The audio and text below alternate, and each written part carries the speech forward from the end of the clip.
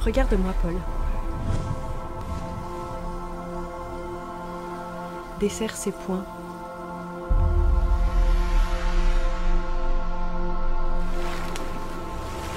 C'est au sujet de votre fils aîné, Alexandre. Pourquoi?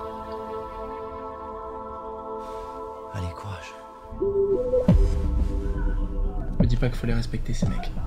Je veux pas avoir de violence dans cette famille. Est-ce que c'est compris? Ils ont rien en eux. Il n'y en a aucun qui est trempé dans l'acier. Tous ces mecs-là, qui provoquent, qui agressent les gens, qui les encerclent à 10 contre 1, qui parlent fort, qui détruisent tout, c'est des faibles. Et ils ont de la chance que l'homme soit civilisé. Parce que c'est la seule chose qui les maintienne en vie.